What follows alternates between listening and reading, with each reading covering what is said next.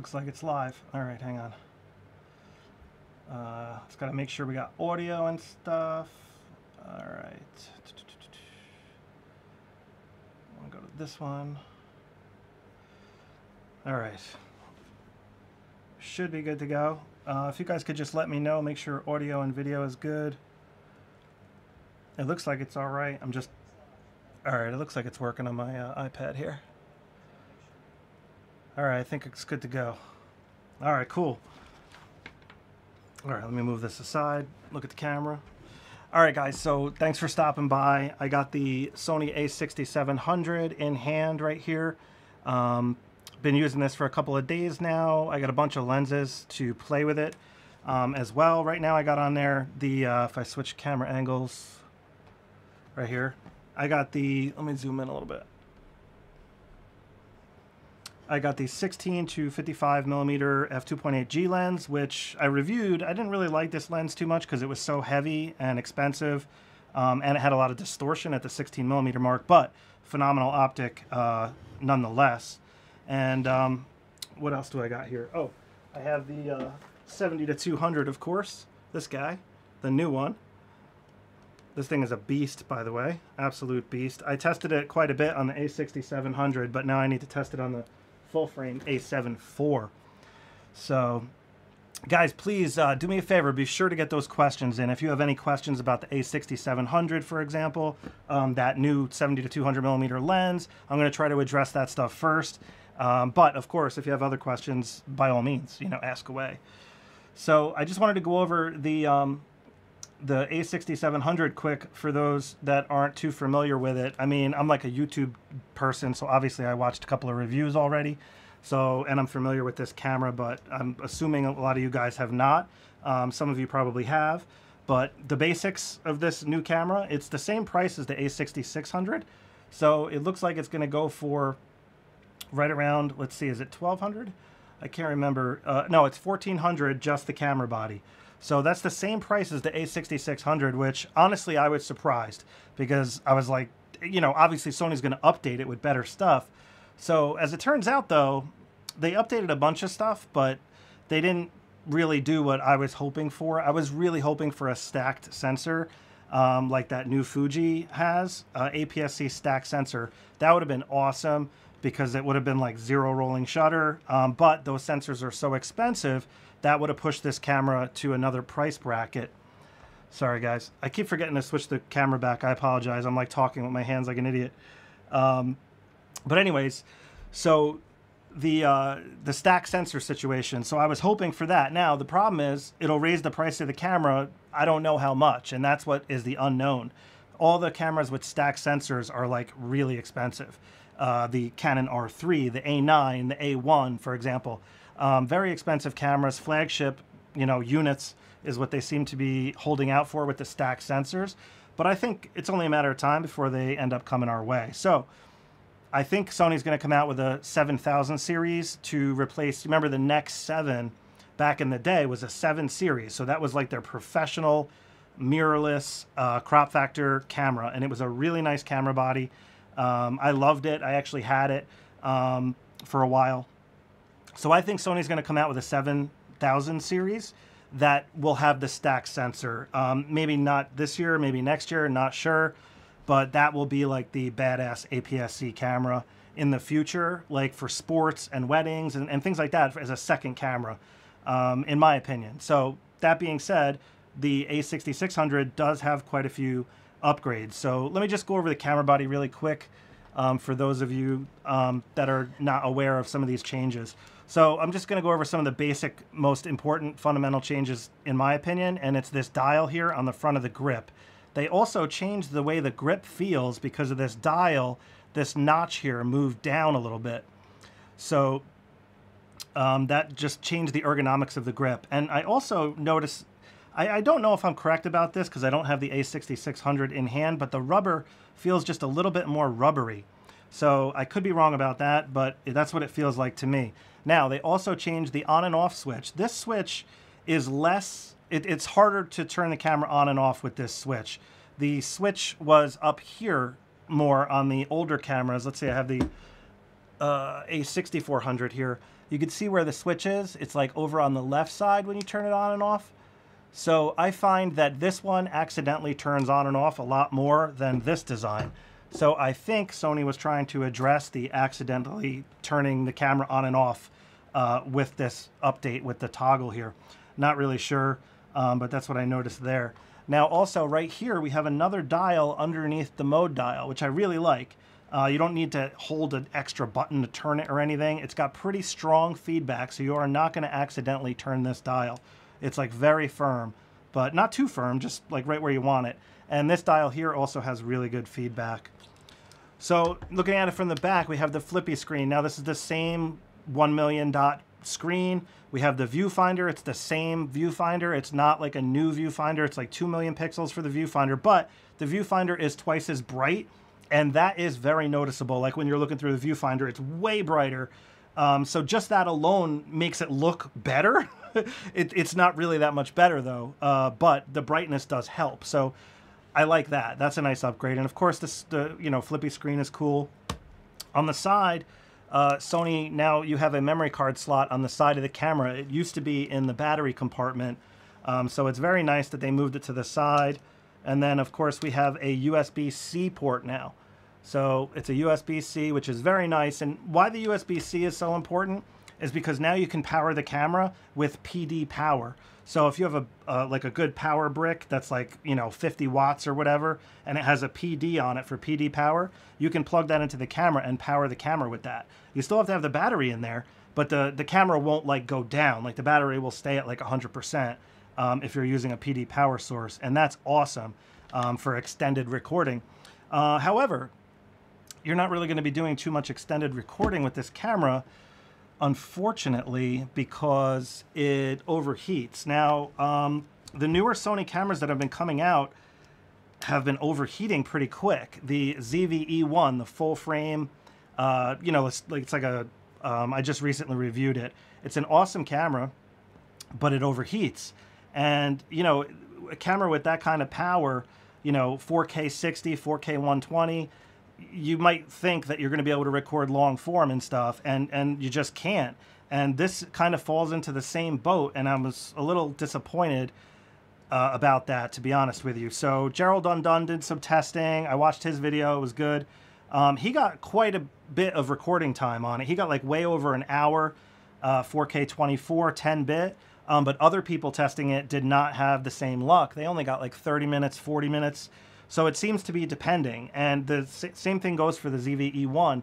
People got different recording times, you know, depending. Now, of course, ambient temperature is going to matter. If you're in an, a studio like I'm in and you have a climate controlled environment like 70 degrees uh, Fahrenheit, you should be good to go for, I would say, at least 45 minutes, if not an hour. Um, the testing I've seen has been a little bit hotter than that. It's been about 75, 76, and those are overheating fairly quick. Um, so 4K 60 is going to overheat faster. 4K 120 is going to overheat really fast. So probably 15 minutes, 4K 120. Um, again, depending on the ambient temperature. So it is what it is.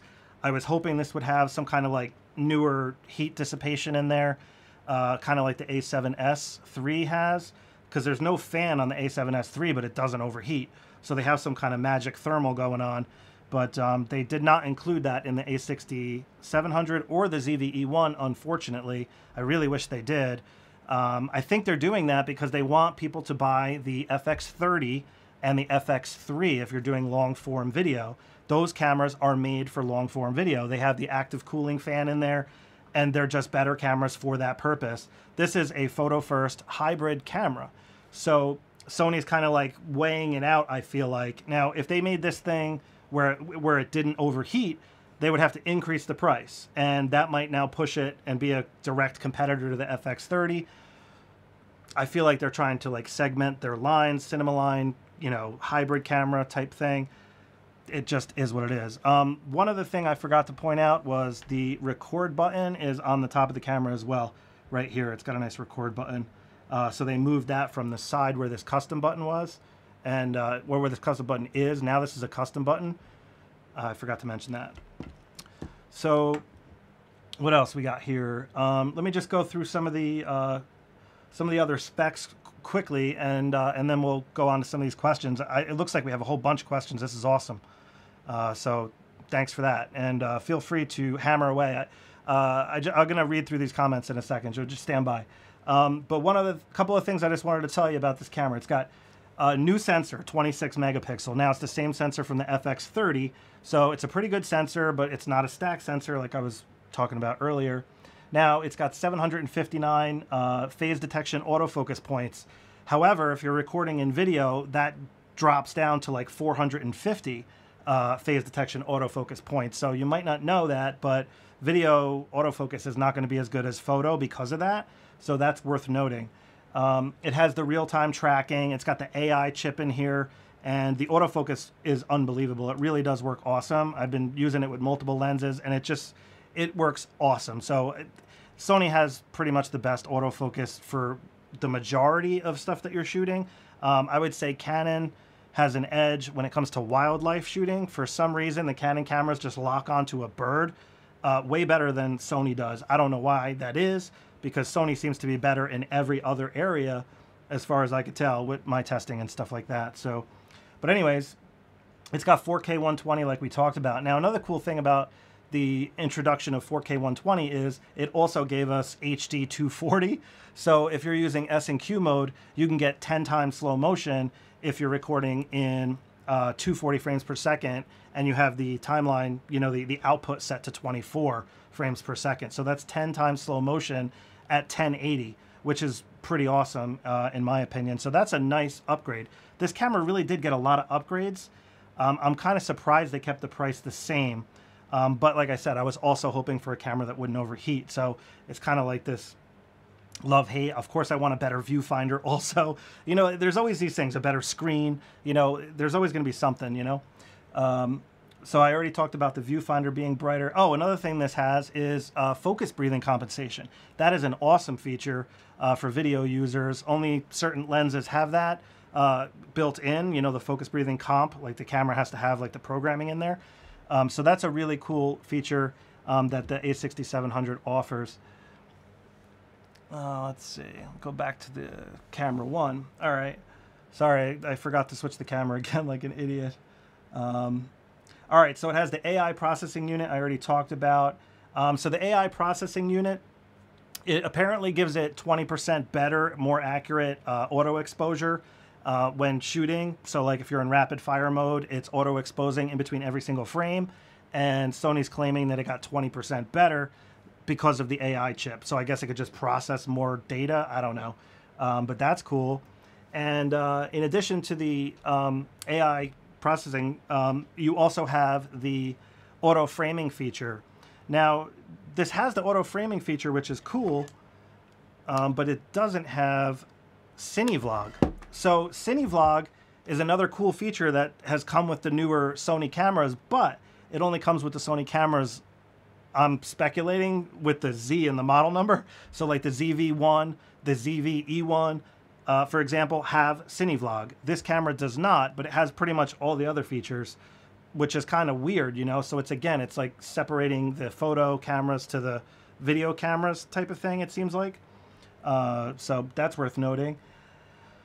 Uh, what else? Oh yeah, the Wi-Fi, it's got 5G now instead of just 2.4, so that's another upgrade let's see what else. Um, the battery is pretty much the same. Uh, well, it is the same. Battery life is about the same. It's got the same magnesium alloy body, which is nice. Very good weather sealing and, and dust moisture resistant is, is pretty good on the doors. It's not like rubber gasketed on the doors. Um, but it does have, oh no, it does have like a little bit of a, a rubber there. Let me switch this so you can see this. I didn't notice it. You see that little bit of like rubber there? That is a rubber gasket. That's pretty cool. I didn't notice that. I apologize. I wonder if it has that on the other doors. Um, not so much on the other doors, but still, that's pretty cool. Uh, what else we got? The grip I already talked about. Oh yeah, bracketing. I use bracketing a lot for HDR photography. So they changed that in the camera here. Let me just show you. Let me switch to this and zoom in. I, I am very comfortable, I, or I'm so used to using bracketing because I take HDR photos all the time. So if you want to go to bracketing, if you go into drive modes here, oh, this is the new interface, by the way, this touch interface. You can like swipe to get rid of this stuff if you want. Well, the stuff on the sides, it depends on what mode you're in. Uh, and you can get rid of this on the bottom if you want in the menu. But if you go to the drive modes here and scroll down, uh, this is where bracketing is. And it just looks different. Now it says uh, bracket continuous. It used to have like little arrows left and right that you would have to hit to change it. Now they have it set up kind of like ISO is, where it's two separate boxes and you can go up and down. So I, this is much better and it's easier to see and like visualize and like what you're doing. It just makes more sense to me. So I really like this upgrade uh, in the menu system there as far as just bracketing goes because I use that feature all the time. Um, pretty much everything else I noticed was very similar to the ZVE1 and the ZV1 Mark II and the A6600. It's pretty much the same um, otherwise uh, for all intensive purposes. The stabilization, um, the stabilization did not upgrade on this either, so the it's still five stops stabe. I was hoping for an upgrade there, but again, 7000 series. Uh, hopefully it comes with that. Um, also, I just wanted to show you guys this cool strap that I got um, from Falcam. It's really nice. Look at this thing. It's like padded and, and leather, and it's got this like magnet here where you can just like pull it off. So you can just take the strap off super easy. I really, really like this strap. And I, it comes with two sets of these. So I have this on my other camera as well, and I can just take this strap and move it from camera to camera. I thought that was pretty cool. So just in case you guys were wondering about this strap, uh, sitting here on the camera. That's what the deal is with that. So we're looking good. We're back to me on the screen. All right, let's go over some of these comments. Let me bring up. Um, oh, guys, by the way, can you do me a favor and give me a thumbs up? I really appreciate if you give me a thumbs up. Thanks. Um, it helps out. So let me just open up Ecamm here just bear with me a second here because uh, I suck at Ecamm. I'm still not good at all. Like I, the windows disappear. It's like I'm getting the hang of it, but I don't use it enough. You know what I mean? So let's see here. I'm just trying to bring up the comments. Just give me one second, please. Oh, Chris. All right, so if I double click it, is that how I do it? Hang on. There we go. All right, Chris Deflex. Uh, thanks, man. I appreciate it. I appreciate uh, you giving me that feedback there about the audio and stuff.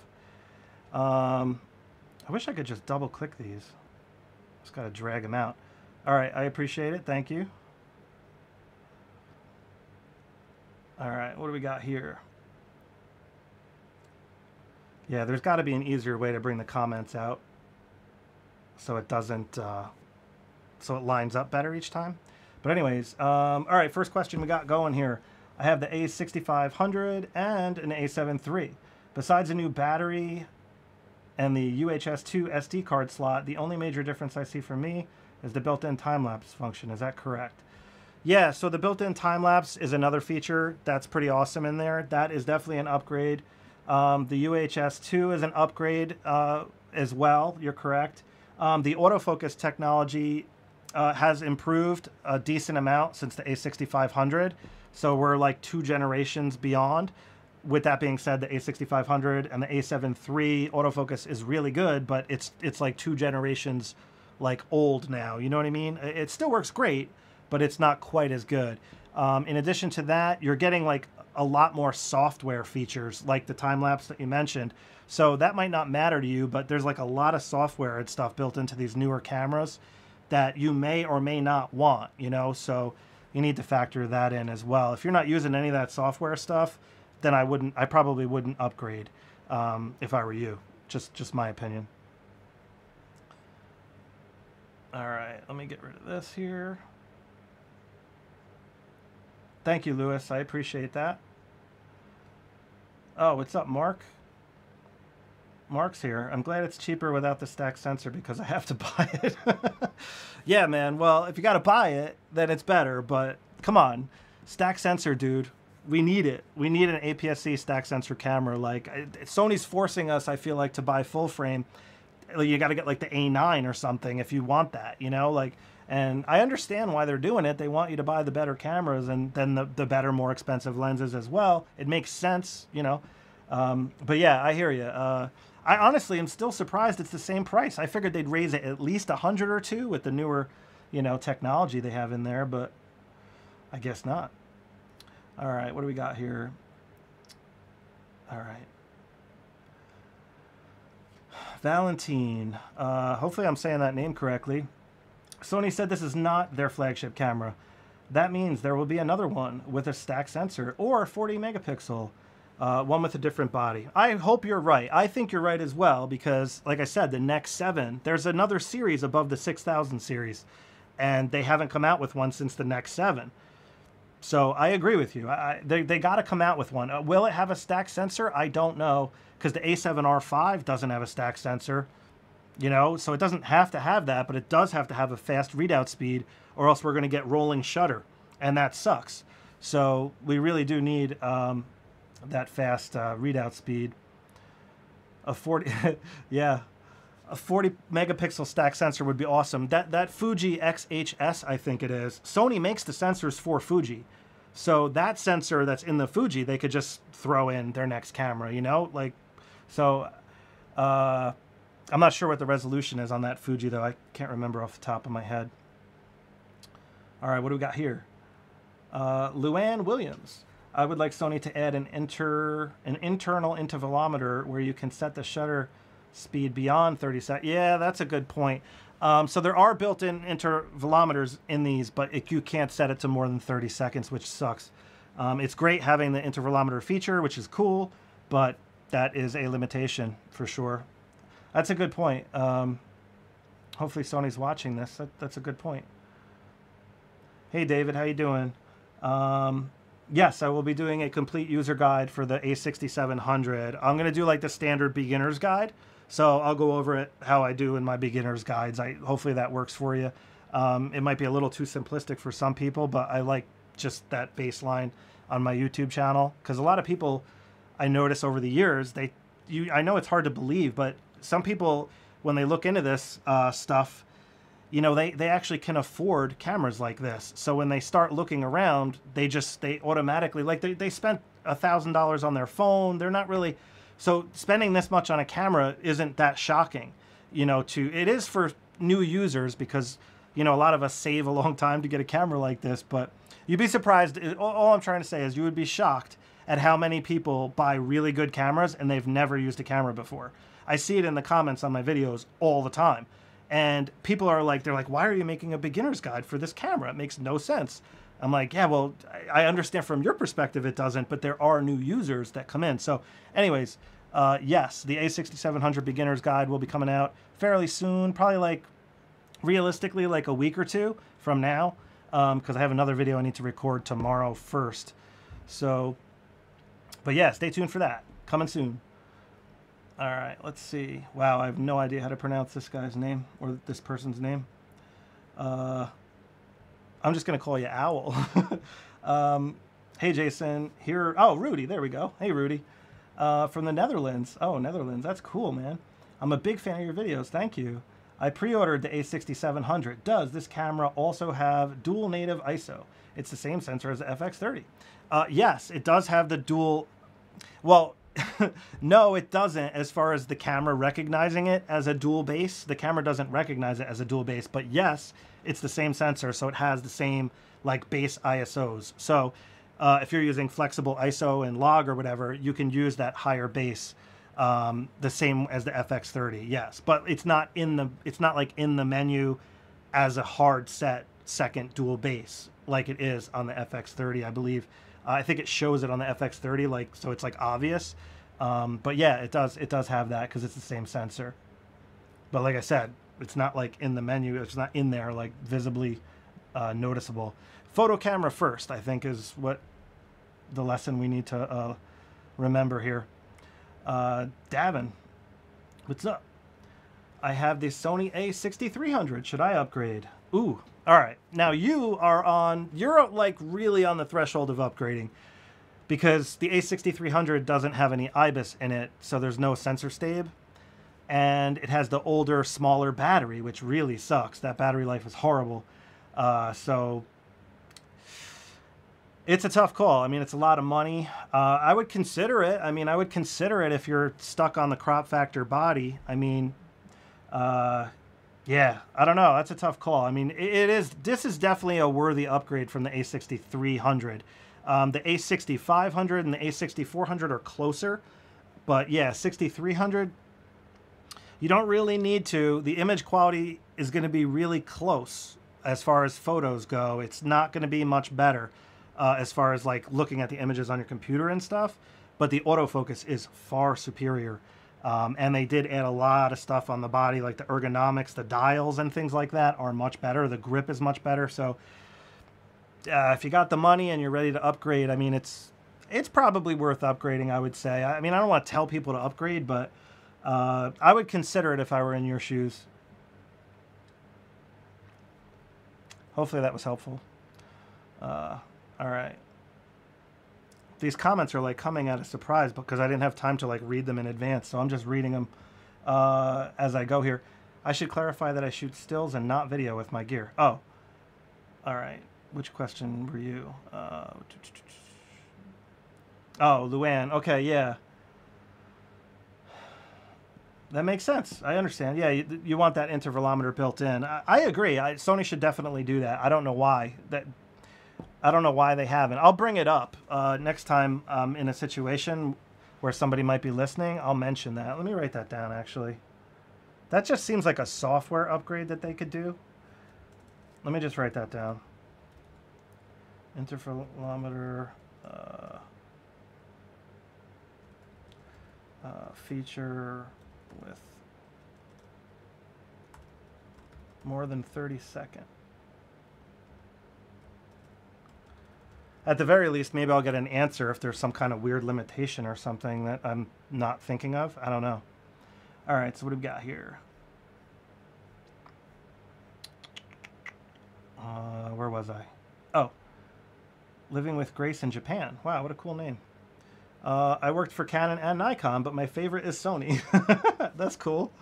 Interesting. Cool comment. Fascinating.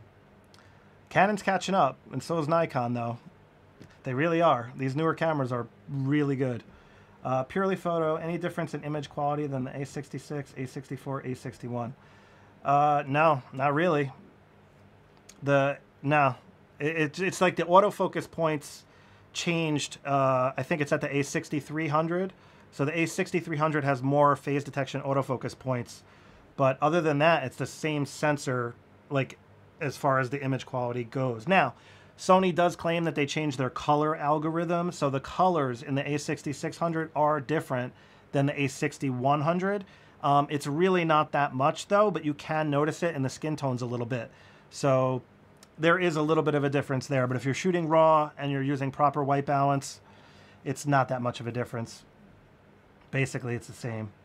Um, it's not like the ISO or the lower light is way better or anything like that. It's all basically identical.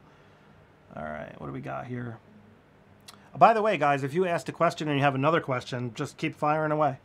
All right, so what do we got? Living, uh, David. All right, here we go. David Maltese. I wonder if the sensor is trimmed down version of the A7R5. It equates to this. Yeah, I think it is. I think that's exactly what it is. I think it's actually, yeah, the A7R5, A7R4 is like the same sensor. I think it's it comes from the A7R4 uh, sensor. It's just a smaller die. So instead of building it out to full frame, but I believe it's the A seven four, the A7R4, sorry, the A7R4 uh, sensor die, I believe is what they use to make the FX30 uh, and this A6700 um, sensor. So I, I, think you're correct, David. I didn't realize Sony did that until recently. Uh, a couple months back, maybe like a year ago, I learned that they use the same die. Uh, as long as the resolution pixel density is the same, you could just use the same die and make it bigger or smaller depending on the sensor size, which is pretty cool. So they probably do the same thing with cell phone sensors and all sorts of stuff. Um, oh, okay. Uh, yeah, no, I, I meant the A7R4 when I said that, uh, Valentine. I apologize. That was my mistake. I keep saying A74 instead of A7R4. All right. I forgot to get a drink. I'm kind of thirsty. I might have to go grab a drink quick. All right, let's see here. Mark, what's up, Mark? He's back. What do you got? I got the same overheating numbers as Gerald. No overheating in 4K 24 or 4K 6. Wow, really none? Ran until the battery ran out. 4K 120. How could 4K 60 run until the battery runs out and 4K 120 overheat in 20 minutes? Like, that doesn't even make sense to me. If it takes 20 minutes for 4K 120, at the very least, you would think, logically, in my brain anyways, around 40 minute mark, 4K 60 should overheat. Maybe a little longer, but that's interesting, dude. I, I appreciate you sharing your results. That's actually good news, what you reported, because uh, Gerald obviously does, he's one of the best testers on YouTube. So I took his numbers as like, you know, gospel. But then Jordan from uh, Petapixel, you know, the old DP review guys, um, you know, he got way less you know numbers than Gerald did. So uh, we'll get to the bottom of it. But that's good to know, Mark. Uh, I'm glad you reported that because I was going to test this myself before I review it, but so many people tested it. I figured I would get similar results to uh, what you got, except for the 4K 60. That's fascinating. I did expect 4K 120 to overheat in like 15, though. All right, cool. What do we got here? John? Hey, John. Uh, when shooting with the electronic shutter, can a sound be added to indicate an exposure? My A1 has that, but the A7R5 does not. Oh, your A1 has that. I don't know. I do not know off the top of my head. It's a good question. I couldn't tell you. I'm sorry. I'm not. I'm just not aware. Uh, that would be like in the menu area under what sounds and stuff are muted. Um, I don't know. I don't have the camera on me, so I can't say for sure. Um, I'll look at that though on the A6700 and see if it's a feature on this camera. Because if it is, then it probably is on the A7R5. But if you can't find it, uh, yeah, no, actually, it's probably just something they keep with the flagship model. Uh, now that I think about it, if your A7R5 doesn't have it, I highly doubt this camera will. Uh,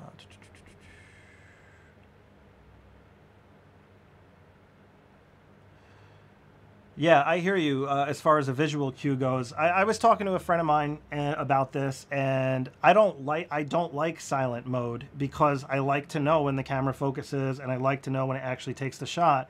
When you have it in silent mode, like you have no idea that you took 30 shots if it's in rapid fire mode. So I hear what you're saying. You know, um, I don't know. I would rather just use mechanical or leave the audio stuff on and just deal with the beeping as much as it might suck uh, just turn it on and off as needed, maybe. Uh, Chris the Flex. What's up, Chris? You're back. I live in South Florida where it's extremely hot, and I will be using the Sony ZV-1 outdoors tomorrow. Uh, yeah, it overheats. Yep. Uh, 4K, uh, 24, that's a very small camera body, and if you're in direct sunlight, yeah, it's going to overheat on you. Uh, I don't know off the top of my head how long you'll be able to get with that, but, um, you know, try to put it in the shade, you know, try to keep it cool if possible.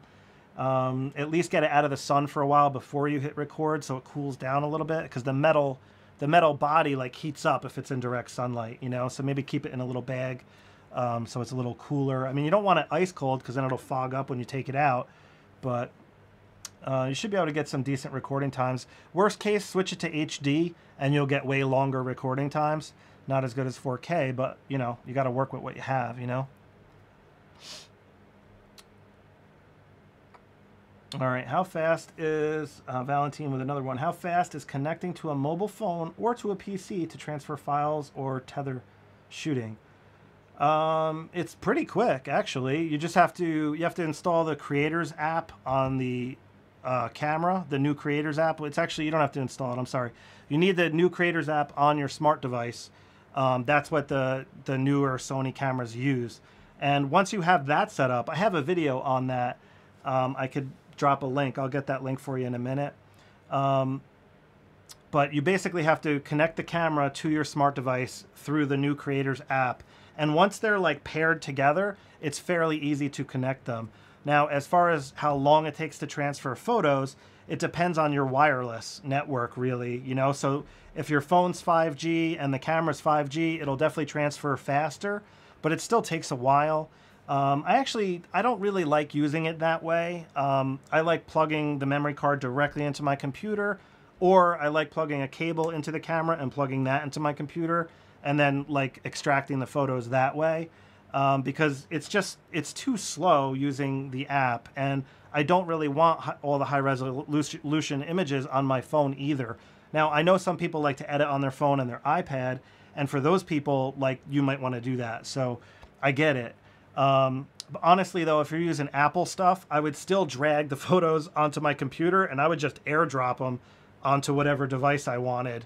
And that I think that method would be way faster, and you wouldn't have to, you know, fill up your mobile device either. So, um, as far as tethered goes, tethered's really easy. You can use a USB-C cable, and if you install the Imaging Edge desktop app, um, you could then tether with that app to your uh, camera via the USB C cable. And that's really easy to use. I have a video on that as well. Um, it's a little bit older of a video, but the, that program still looks to be the same pretty much. But uh, yeah, it's, it's not that hard and it's pretty quick uh, to do. So hopefully that answered your question. It's just the initial setup that's kind of a pain in the ass with the with the app, but it's really not that bad if you if you watch the video. Um, I'll get that video for you in a second. Uh, all right, John says true. Valentine. Uh,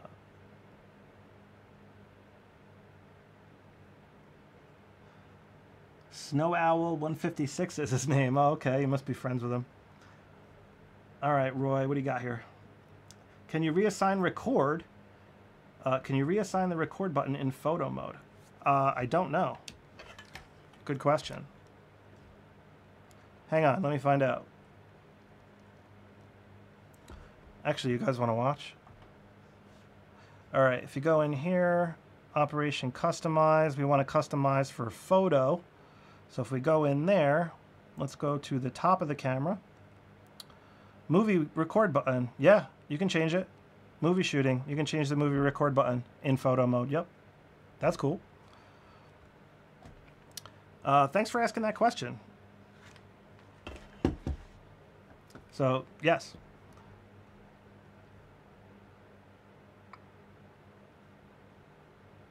What's up, doctor? Uh, don't want to say your name wrong. I'll just say doctor.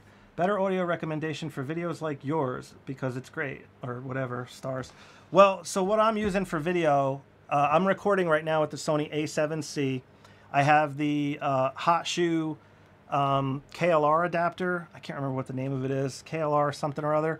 And I'm using up top here. If you look in the video description, uh, I have the microphones I'm using. This one that I'm using right now during this live stream is the Sennheiser MKE 600. It's awesome. Uh, it's a few hundred dollars. I think it's like 250 maybe. I, I can't remember off the top of my head. But I'm using that, and it's an XLR mic that requires phantom power. So I have a cable going into the top of the uh, KLR unit that's on my A7C, and that XLR cable plugs right into it. And that's where the really good audio is coming from. And because it goes right into the camera, it's so easy to do what we're doing here as far as live streaming goes. Uh, and also, when I'm recording videos, I don't have to worry about syncing the audio up after the fact. Because what I was using was this for the longest time. Uh, I was using this guy here. Damn, I keep forgetting to switch the camera back. Oh no, it's back. Um, yeah, what I was using was this. So I had the microphone originally plugged into this XLR, and then this takes a memory card. And after I recorded the videos, I had to sync up the audio with my video, and that was just a pain in the butt. You know, I got so tired of doing that. But I, it wasn't that bad. But you have to sync it up after the fact, and it's a it's cheaper than buying the KLR unit and stuff like that. So um, but that's how I do it, and that really is probably the easiest turnkey and best way to do it because it just embeds the quality audio right to your video, and you don't have to do any syncing in post. So that's what I recommend. Also, um, the other mic that I really like is this guy. This is the, uh, let me switch cameras again. This is the Sennheiser MKE 400, and this is fantastic. This mic is really good. It goes right on top of the camera and it's fairly compact and small. You can see here. it's it's a really good quality unit. Uh, very very good quality audio. So this is what I use when I'm out in the field and stuff, and I really like that uh, solution for just on top of the camera turnkey. Um, I have another mic, but it doesn't sound near as good. This is the Rode Video Micro. Let me cover my face. This guy here. Yeah, this is the Rode Video Micro, and it's not a bad mic. It's a it's a pretty decent mic. Uh, it's very affordable, um, and it's very small and compact, as you could see. This little like puffball here, but the audio is not near as good as the Sennheiser. It's like night and day difference. So, oh, my fan just fell over. All right. Uh, hopefully that helped you out. If you have more questions, by all means.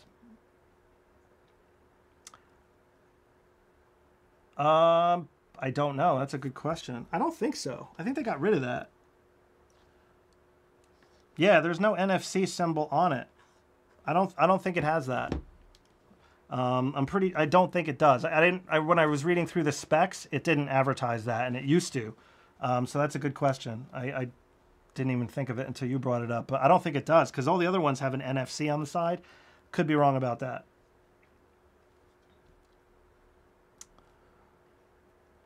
Oh, it's the owl dude. Um, in the Netherlands, the price is 1700 euro. Ooh, much more expensive than the USA. I always wonder where that big difference comes from. I think it comes from that VAT tax you guys have over there. We don't have that in, in uh, the United States. Pretty sure that's what it is. That adds like 15% or whatever it is onto like everything electronic, maybe, or maybe it's just cameras. I'm not sure, but I th- that might be the reason. I don't know. Speculating here.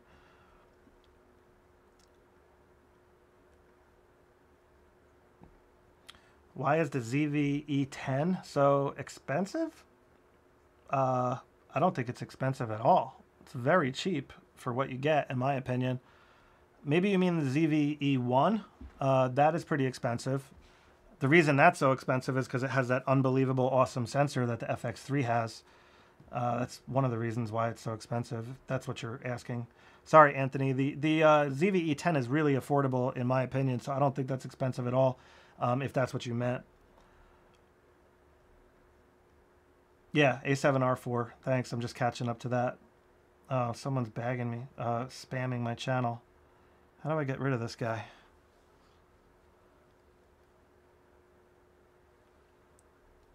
I don't know how to get rid of him. Oh well. Uh, ignore the horrible comments if you see any. I'm not sure if they popped up. It looks like they it looks like they might have been screened out a little bit. Not sure. Just looking at these comments here. Yeah, no. ZV-E10. Interesting. All right. Uh, hey, what's up? What's the best Sony camera for beginners? That's a really good question. Uh, it just it honestly depends on what you're doing, how much money you want to spend, how much you plan on getting into it. Um, I would probably start with something with a. Eh, it also depends on if you're doing photos or videos.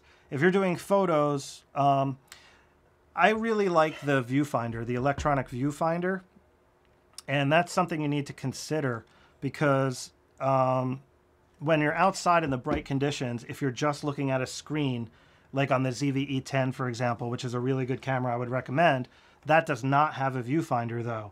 So if you're outside trying to take photos in the sun, you're not going to be happy, in my opinion, because you can't see the screen, and you really need a viewfinder. So if you're, if it depends on what you're doing, but I would probably consider something for a beginner. Maybe get a used, um, like a used A6400. If you want stabilization, you can get an A6600, something like that. Uh, if you want something small, you could get, you know, like the original ZV1. Um, again, no viewfinder. Uh, it's fairly easy camera to use. Um, the ZV series cameras, they're, they're very easy to use. They, the way that they're designed, they're really kind of made for beginners, but they're more video oriented. So if you're looking for more photos, that's why I would consider more like the A6400. Um, that does not have sensor stabilization though, but you can find a used one for a pretty good price, and that's an excellent camera in my opinion for beginners. Um, you can go cheaper than that though. The A6100, find a used one of those. That's another great option for a beginner.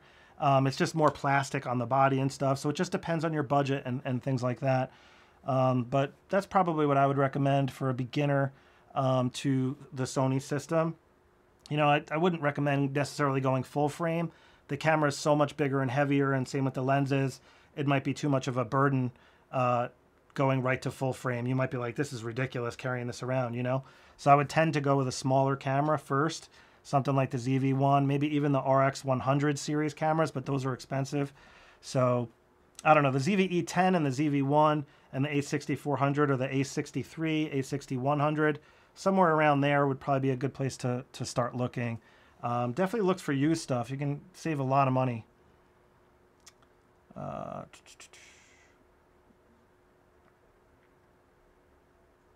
all right, what else we got? Hang on a second here. I'm just looking at the comments.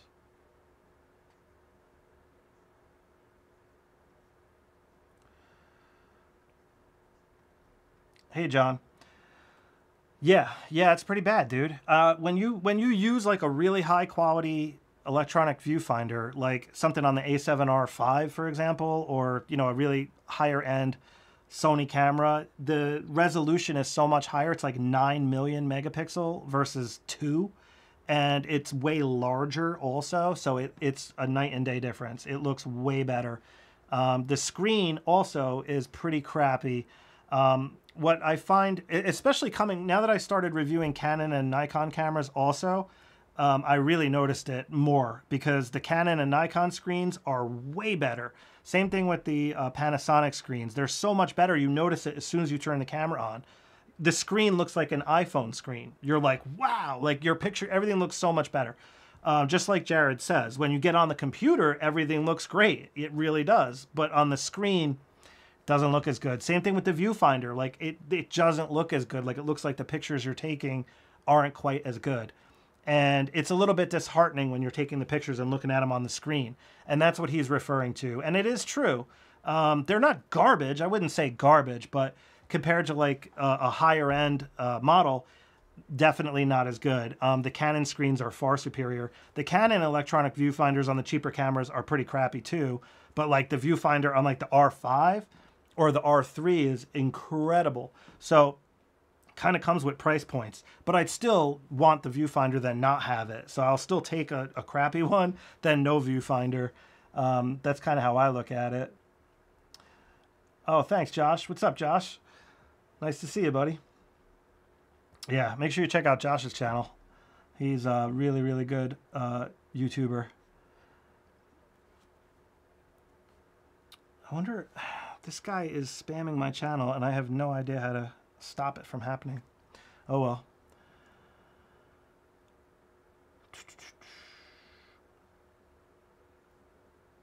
Uh, oh, okay. That's interesting. Uh, that kind of does make sense because of the 5G. So you probably can transfer it quite a bit faster.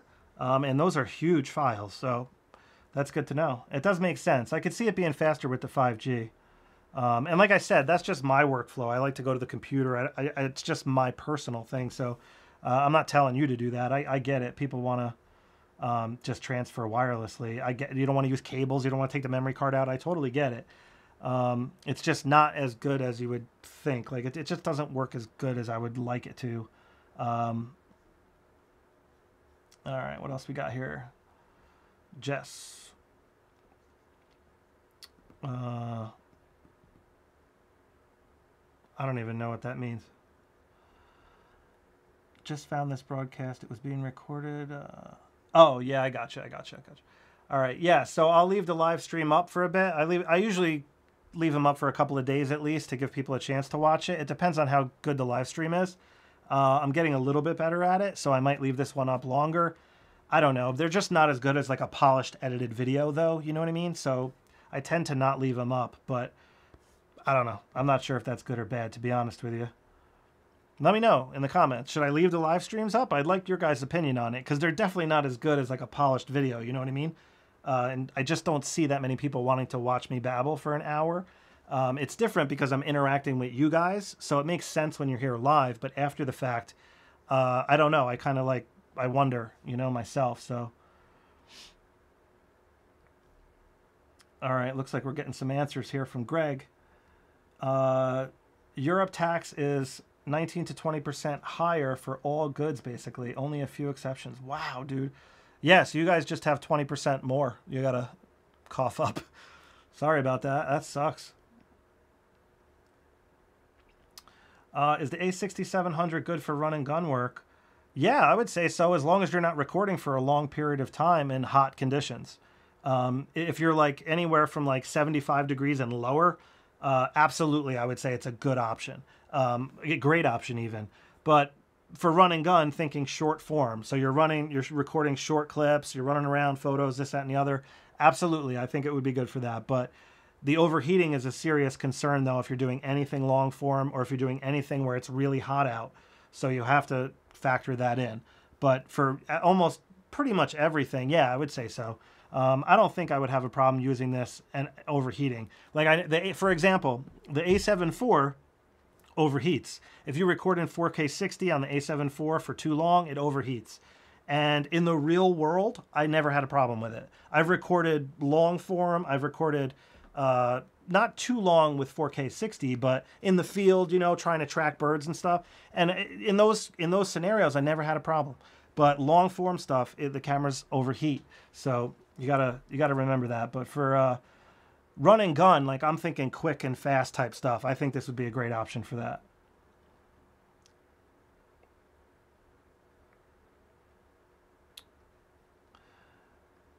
Uh, A6700 or keep, uh, oh, keep A7. Uh, I think you're having a hard time. Okay.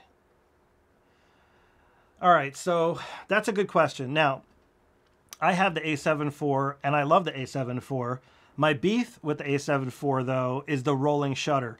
This used to not be a problem. It never bothered me because I was pretty much exclusively doing photo type stuff. Um, but when I started doing more video stuff and like walking around with the A7 IV, I wanted to kind of use it and like talk to the camera and stuff. Like, and I noticed that the rolling shutter is so bad that when you try to stabilize the footage in post, that jello effect, you, you can't stabilize it. It just looks like garbage if you try to stabilize uh, shaky footage because of the rolling shutter. So that's my biggest beef with the A7 IV. Other than that, though, I absolutely love the camera. So that's a tough call. If you're not doing video and you don't care about rolling shutter, I would probably go with the A7 IV because the full frame sensor is definitely better um, it's it's just better. So and the viewfinder on the on the A7 IV is a little bit better as well. Uh, it's noticeably better than this viewfinder on the A6700. The A7 IV has dual slots. You probably know all this already, but uh, that's a tough call. You know, there there are enough crop factor lenses now that are high quality where you can go crop factor and get really good lenses. Um, so you don't have to use full frame lenses on crop factor bodies to get good optics. So you can get away with the A6700 if uh, and and also have options as far as really good lenses go. So that's a tough call. It really is. It depends on your budget because the A7 IV is like a thousand dollars more. So it's hard to say if it's worth a thousand dollars more to you. Um, to me, it would be for the full frame sensor. I would rather have the A7 IV. But like I said, I, that rolling shutter is kind of bothering me these days. So uh, it just is what it is that that's my uh, feedback. I hope that helps you. All right, what do we got here? I'm in a bit. I'm in. Uh, all right, I'm a bit in doubt now, to be honest, because of the overheating issue with the A6700. I mostly use my camera for filming. Is the FX30 for that reason? Maybe yes, 100%. The FX30 is the camera to get for video because it has active cooling. It has a built-in fan, so that will not overheat. It's just not going to overheat. Like you could be out in direct sunlight, not going to overheat. So yeah, the FX30 100% is better for film. Now, the, well, like arguably one downside uh, from my perspective might be that it doesn't have a viewfinder, right?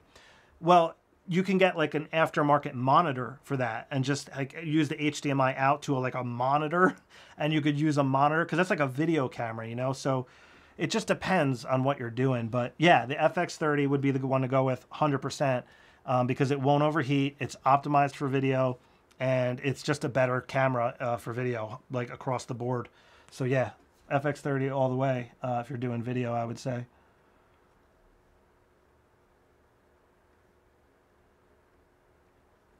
Hi, I have a question. Uh, if I want to use a pocket cam, which used to be in the range of old 16 megapixel cyber shots, which one would you advise?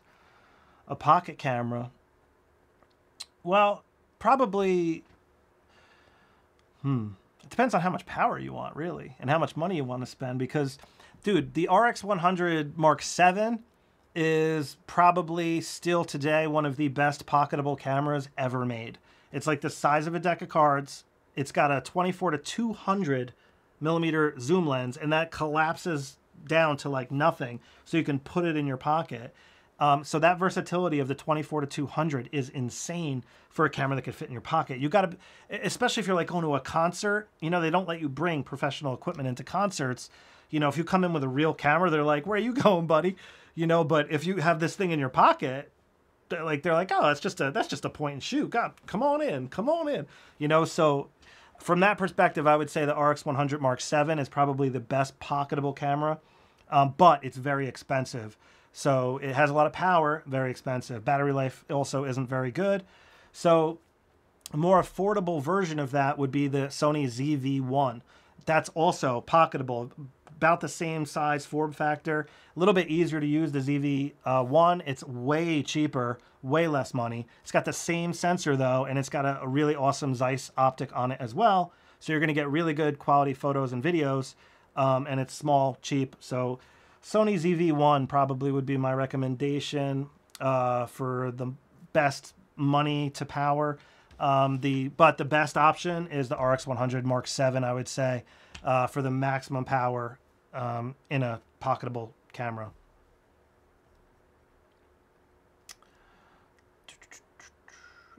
All right.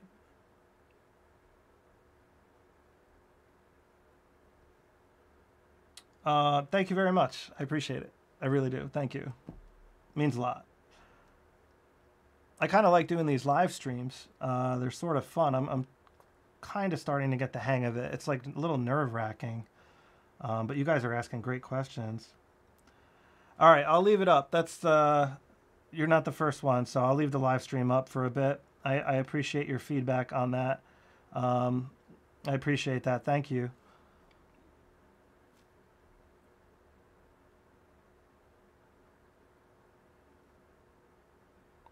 I appreciate that perspective. Thanks for sharing that. Uh, it's the content that matters, not the quality. That's fair, dude. A lot of great YouTubers don't have the greatest production quality, and their content crushes, and they do great work. You know, I watch videos all the time, like trying to figure something out. Uh, you know, fixing my dirt bike or whatever, and like the. so I, I hear you, dude. It's the content. I get it. Uh, I appreciate that sediment there.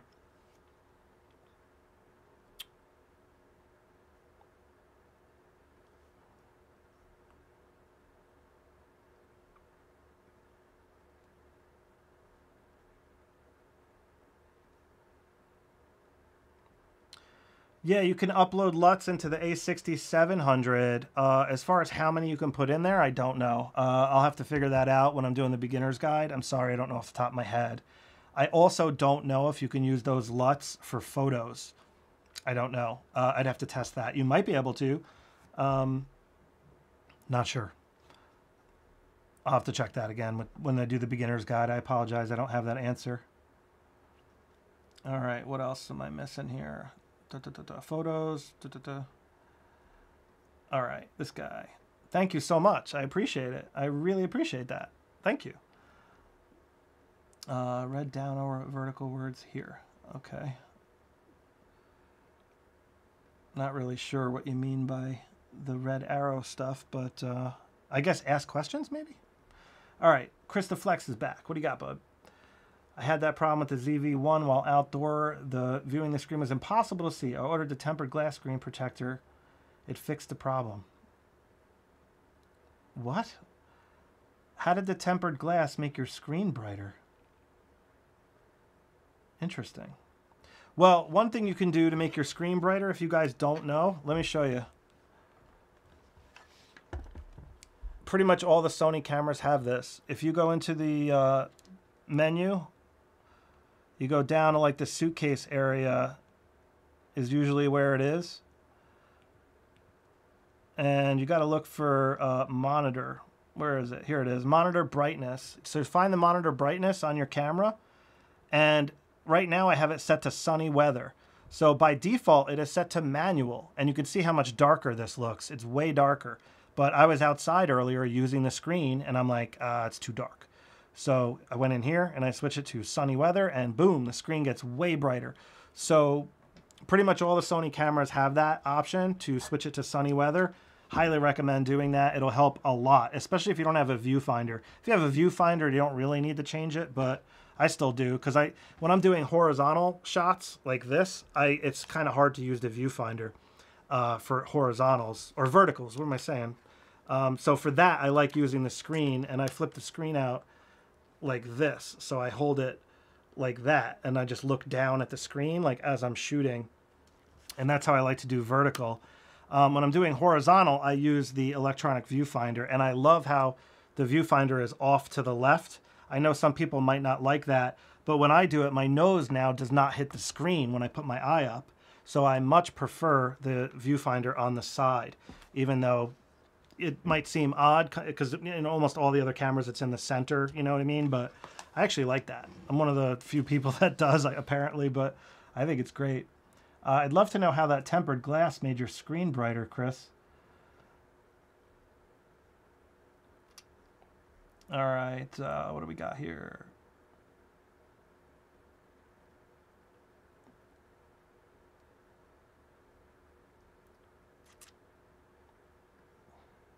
All right, uh, any info about the uh, battery grip? No, I haven't heard anything about that uh, for the A6700. The battery life's really good on this camera, though. You can get like 570 shots approximately. Like that's really good. Uh, like an uh, probably like an hour and a half of recording on one battery. Plus, don't forget you can get a PD power source. Let me let me show you what I got. Hang on.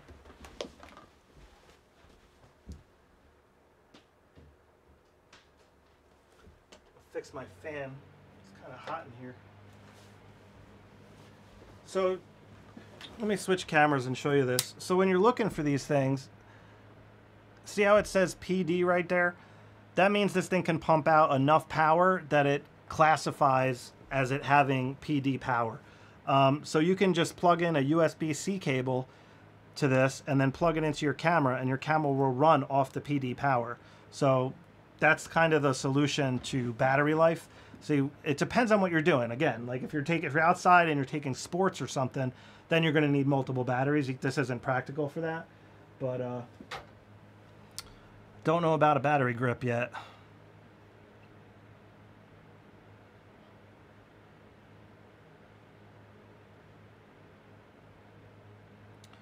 Um, how does it compare to the A6300, the A6700? Well, um, it's very similar, but it has a new sensor and it has a new autofocus system. So those are like uh, two generations newer.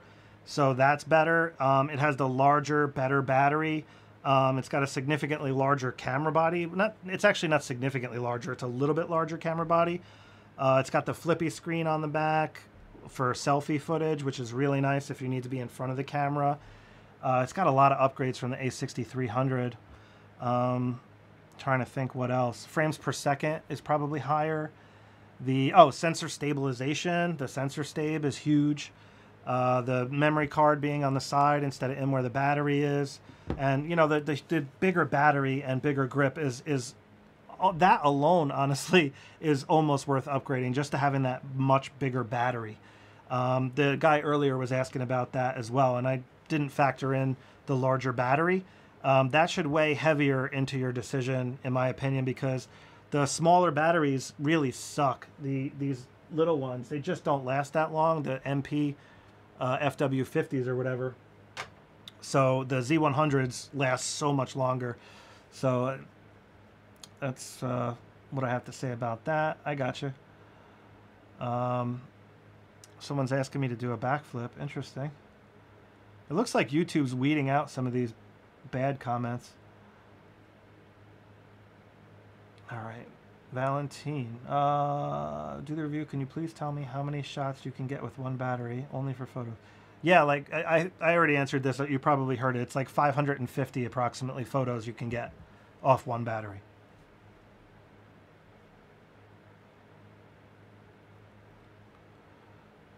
All right, what do we got here? The greatest feature on the A6700, in my opinion, is the reframing possibility in a fixed shot. I've never seen this in any other camera. Have you used it in practice? Is it as good as they say it is? All right, so the auto framing feature is super cool.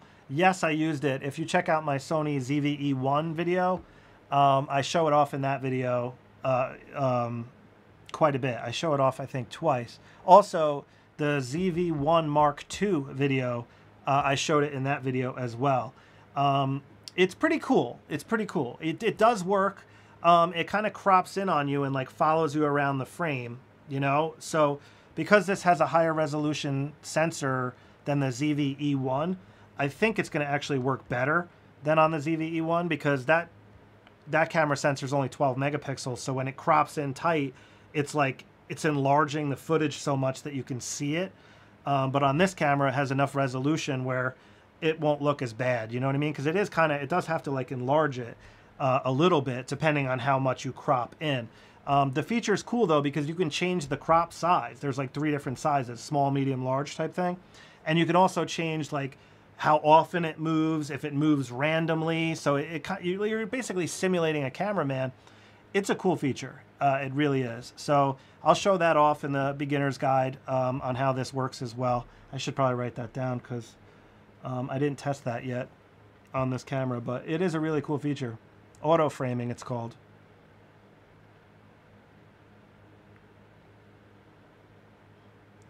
SmallRig has some cages and bigger grips for the A6700 already. Yeah, I got the SmallRig cage on my A6400 right here. Zoom out. This is a SmallRig cage. I got the one with the wood grip because the grip on this camera is just too small, as you can see right here. But yeah, they make nice cages. And you can see how much bigger this grip is. It sticks out way more than this grip. It's amazing how fast SmallRig is at making these new cages for cameras. All right, Marine X, what's up? I recognize you from uh, one of the videos you just commented on recently. I mostly use S-Cinetone. My A cam is the FX3. I want a camera as a B cam with an EVF for YouTube. I have a bunch of APS-C lenses laying around. Would you get the A6700 or wait for the A7C2? Ooh. That's a tough question. I don't know. Not sure. I'm on the fence with that. It really depends on how much. All right, well, here's the deal. If the if the A7C2 overheats like the newer Sony cameras are overheating in long form, then I wouldn't get it. Um, I would probably, well, let's see. You want the EVF, but you're going to use it as a B. You really need something that doesn't overheat, man. So, I don't know. Uh, I, I mean, according to Mark, the camera crisis, he was able to record till the battery died on this camera, no problem. So I trust his opinion. And, and Gerald got the same thing in 4K 24. So if you're using it in 4K 24 in reasonable temperatures, you should have no problem as a B camera. Um, it's it's when it gets into the higher temperatures and longer recording at the higher frame rates where uh, you might have to worry. And that's why I'm worried about the A7C2 because the ZV-E1 overheats. And the A7C is a very similar camera body to the ZV-E1. It's full frame, very small, very compact. And when you have that very small, compact camera body, it's going to overheat, you know, unless Sony does some magic to it. Um, so we just have to wait and see. Like, it, I hope when the A7C2 comes out, it doesn't overheat. And if that's the case, they're probably going to make it more expensive. And if they make it so it doesn't overheat, then who's, you know, how many people are going to buy that instead of the FX3? So it's just so hard to say. I, I don't know what Sony's going to do. Um, I, of course, I always hope that it comes out and it won't overheat and all that. And if that's the case, that would probably be the way to go. Um, I was considering upgrading my. I'm using the A7C right here as my main camera still, and I was going to replace it with the ZV-E1, but the ZV-E1 overheats. So I was like, well, I'm not going to put it in my studio if it overheats. Like, what am I going to do? So if I upgrade to the A7C2, it can't overheat. Like, it has to be able to sit here you know, for like at least an hour, if not an hour and a half, if I'm doing a live stream like this. I'm not recording right now though, so it's not going to get as hot. But still, um, I, the beginner's guide. Sometimes I record for like an hour and a half. They take forever those videos, and I really need a camera that doesn't overheat. So that's a tough call, Marine X, because the A6700 may overheat depending on what you're doing, and the A7C2 might overheat depending on what you're doing. I just don't know uh, about that camera good enough yet. So that's a tough call. Um, but like I said, we've gotten reports that the A6700 in 4K 24 can go a really long time without overheating, so you should be good there um, if you're recording in 24p.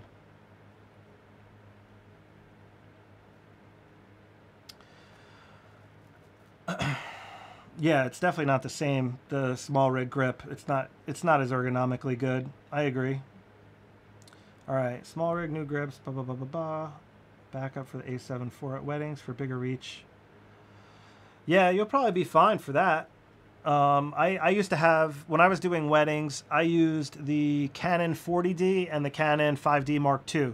On the Canon 5D Mark II, I had usually I had my 70 to 200 f2.8L lens on there the crop factor camera, the 40D, I used to, what did I have on that thing? Um, no, I apologize. I take that back. So I'm visualizing it now. All right, so on my Canon 5D Mark II, I had the 24 to 105 f4L, and that was on my full frame camera. And I was using on-camera flash because it's wedding, so that was more than good enough. The the ISO was not an issue because of the on-camera flash.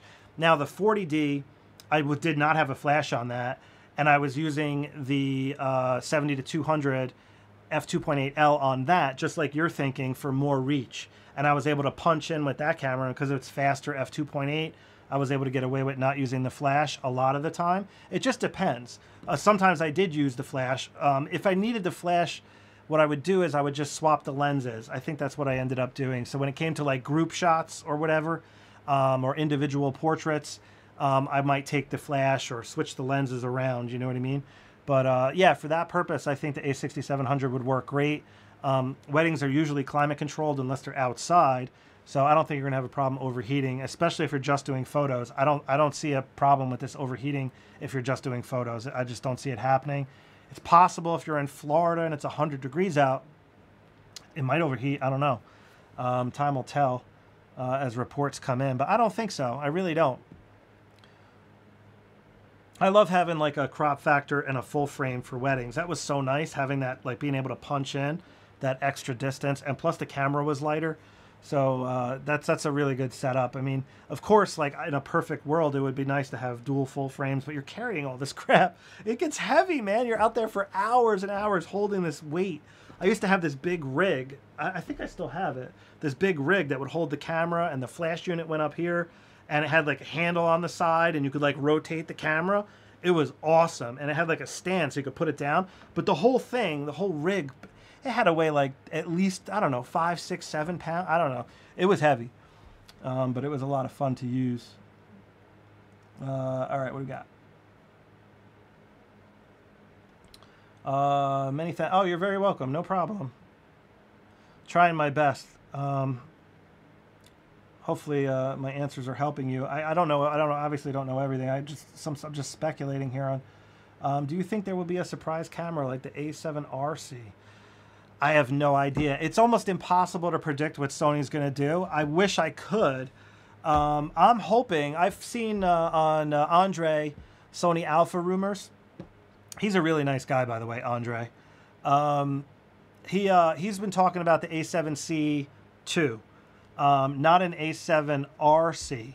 So it's possible that he's mistaken, and maybe it is an A7RC or something like that. Don't know. Um, that would be cool. So um, he's reporting that Sony's going to come out with another camera pretty soon. So I have no idea what that's going to be. Um, people, some people are speculating a new flagship A1 camera because they're not updating the A1 with firmware updates, and it's pissing off a lot of people that own the A1. Uh, so I've heard that they maybe an A2 is coming out. Like people are just speculating. Nobody really knows. Um, but Sony Alpha Rumors said he got reports on the A, A, uh, gosh, I'm like losing my brain here. The A7C2, he's gotten reports that that's coming. So I don't know. We'll see. Um, but as far as the R, that would be interesting. Uh, that would be an interesting twist. It would be cool. You know why? Because the uh, the RX1R Mark II, if you ever check that out, if you're not familiar with it, the Sony RX1R Mark II, that camera is awesome. It's like tiny. It's pretty small. It's like it's like a, a it's like a point and shoot with like unbelievable power and image quality. Um, I reviewed that camera and I loved it. Um, but a camera like that is kind of like a surprise camera, I feel like. So maybe Sony will come out with a new one of those, you know, like for street photographers or something, kind of to compete with like the Leicas and things like that. That's kind of what the RX1R is. It's like a Leica killer um, for, you know. All right, what do we got here? Sony doesn't provide battery grips. I use my E10 with a cage and external 10K power bank. Works great. All right, cool, man. Yeah, they do make battery grips for the A7 IV, the A7R5, the A9, and I think the A1, um, but they don't make it for the uh, crop factor cameras. I haven't seen one. It's possible uh, maybe some of those aftermarket companies make one, but I don't know. Yeah, yeah, I gotcha, I gotcha.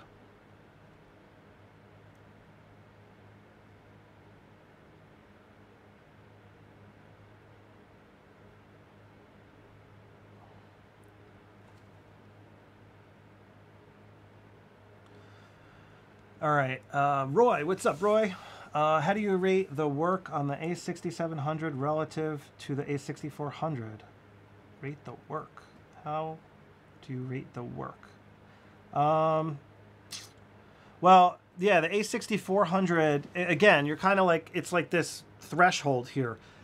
I think it's worth upgrading. I, I revised from earlier because of the larger battery. Uh, somebody asked this question earlier. It was the A6300, and I was like, ah. So with the A6700, you are getting a much better battery and way better battery life. That is huge when it comes to like walking around all day with a camera. The autofocus is two generations better and it's noticeably better. It's really good on the A6400 though. I use that camera all the time. It works great.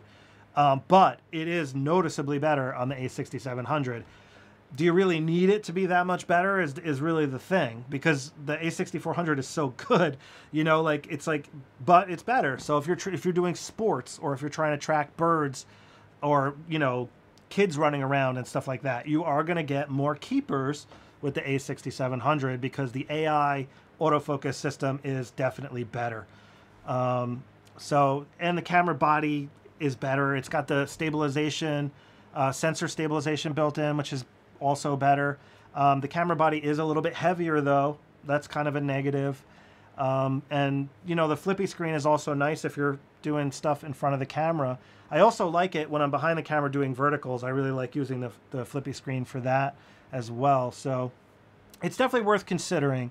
Um, I don't know if it's worth upgrading to you. Like if battery life is never an issue, then just that doesn't mean anything. If autofocus isn't an issue, then that doesn't really mean anything. So it would just come down to like camera body design and stuff. So I like the extra ergonomic controls that the A6700 offers. One of my beefs with the A66, 64, it didn't have this front dial.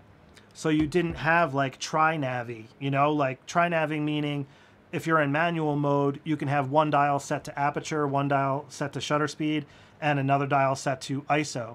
And that's like the tri-navi system. Um, so like pretty much all pro cameras have the TriNavi system in some way, shape, or form. So Sony finally brought that to the APS-C line, uh, mirrorless line, because the A77 had it, but they brought it with this A6700. So that's a pretty worthy uh, upgrade as well, having that extra dial. But again, it depends on how you use the camera. Uh, full manual users will appreciate that. Um, if you don't do that stuff, you might not even notice. So um, food for thought. Um, I would consider it, Roy, but image quality isn't going to be much better. It's a little bit higher resolution.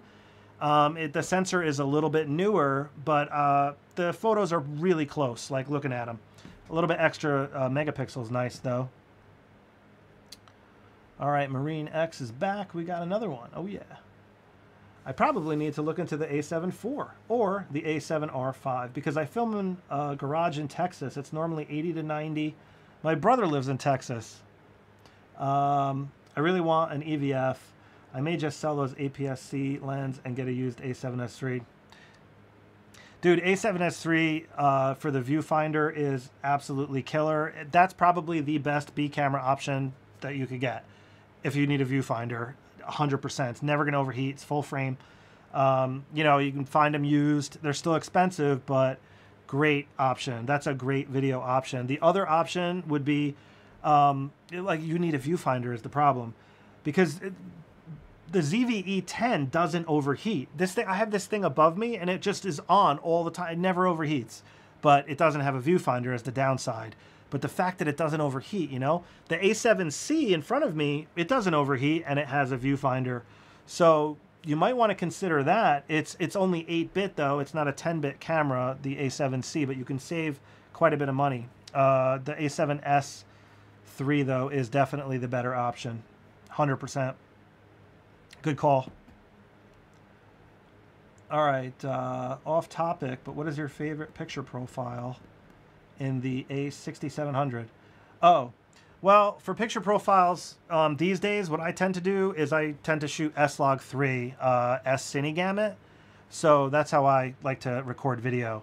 Um, I dabbled a little bit with um, S-Cinetone, but I just prefer doing the grading myself and shooting S-Log. Um, S-Cinetone looks pretty good too, but I definitely prefer to just use the uh, S-Log uh, 3. And on the A6700, that's in a different spot now. Um, if you guys aren't aware, let me just show you quick. This is kind of cool how I can just show you this. Um, so if you go in the menu here and you go over to the top, it has the new menu system in here. So it has a main one and a main two when in video mode. I'm in photo mode. Let me switch it to video. All right, now I'm in video mode. You see how it has main one and main two? So if you go down here, this is where you enable log shooting. So right here, you just turn it on. And then you can change your color gamut if you want in here. But I like the uh, this one here, the Cine one. But that's where you would turn it on in this camera. So it's a little bit different. It still has picture profiles, um, but when you have log enabled, it disables it. So if I go in here and I go off, uh, back, and then I go up, now I have the picture profile option here. But if you look, whoops, if you look in here, it do, it's missing some of the options. You can see they took S-Log 3 out. You see how it goes from 6 to 10 there? It goes from PP6 to PP10. Uh, and then here are the LUT options. Oh, okay. It looks like we got four LUT options, Valentine, for your question before. I don't know if you could use this in, in uh, photo mode, though. But it looks like there's four uh, custom LUT options here, just at a glance. But anyways, that's where the uh, log shooting is. So I, I, like to use the S-Log3 S Cine Gamut one. Um, I like that one the best. But I don't really have that much experience using it, to be honest, but that's the one I like the best.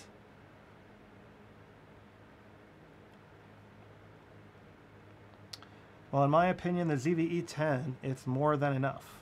Yeah, I agree. That's a great camera. I use it. That's my overhead rig.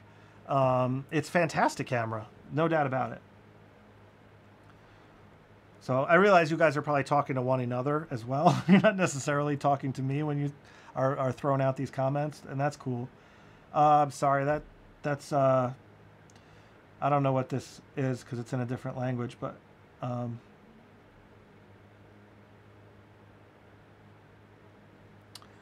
yeah, sorry about that. I keep making that mistake. Where am I? Oh, there we go. Sorry about that, dude. I gotcha. I keep forgetting to switch it. I apologize, guys. Really sorry about that. It's amateur hour over here. All right, imagine an A7 RC with a fixed lens and a Leica M11 or Fuji, blah, blah, blah. Yeah, well, what you're describing is basically the RX1R Mark II, except that doesn't have a zoom lens. That has a 35 millimeter f2 lens. So that camera is basically what you're describing, just adding a zoom lens to it. Um, and that ca- the RX1R Mark II has a 42 megapixel sensor in there as well, I believe. Um, but yeah, zoomable lens would be nice. I agree. Sony might do that. They do like to throw stuff out every once in a while, and it's been a while um, since that RX1R Mark II came out. Um, if the the A7RC though, like the A7C is a mirrorless camera, so I don't think they're going to call it that if it has a fixed lens. Fixed lens cameras tend to be like RX cameras, the way Sony does it anyway. Um, I, obviously, I could be wrong, but that just seems to be how they how they do it.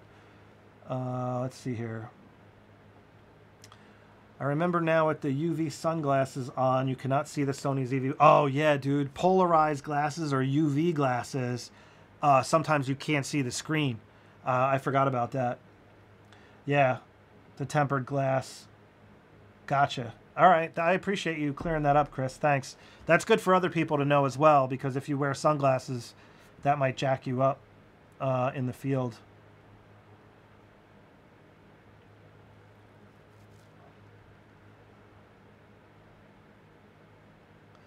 Yeah, they're very similar. Um, like I said, the color science has changed uh, on the newer Sony cameras, but it's like subtle.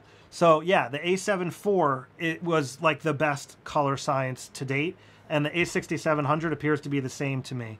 Um, but like when you go from camera to camera to camera, it's not that much of a difference. It's like very slight, um, but it is a difference. The skin tones in particular, um, the A7 IV looks really good. Um, and A6700 looks the same to me when I was looking at the photos. I have a ton of sample photos um, I could show you here in Lightroom, but it's kind of boring. I'd rather just answer your questions and just tune into the review. Um, uh, I'll show you a bunch of sample photos. I'm not sure if I'm going to review this camera though. Actually, maybe I will.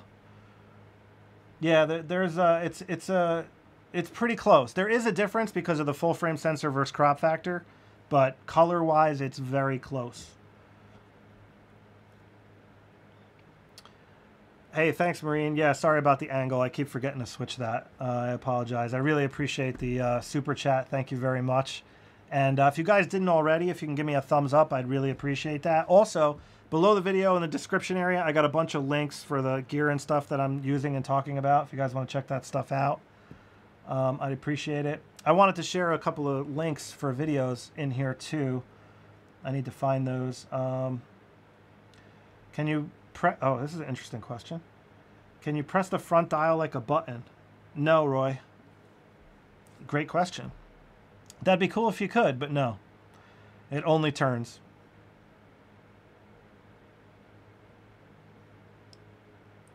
Yeah, man, you understand, Arch.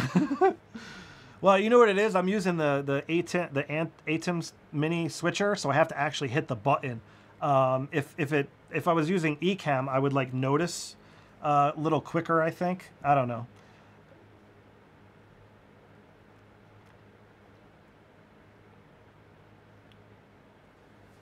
Still debating on an upgrade from the A6400.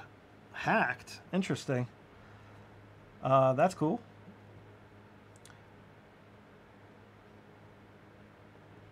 Hey Dale, uh, the buffer. I don't know off the top of my head. Um, the A6700 buffer is pretty good, but I don't think it's as good as the A7 IV.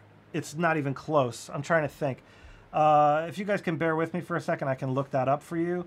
Um, the A6700, you can get about 59 RAW files.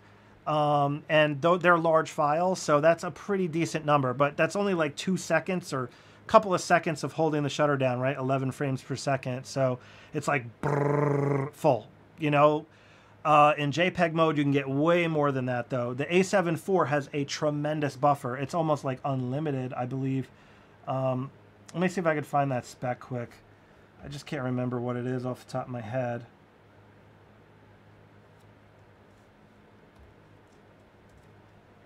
I think it says it right here in the specs.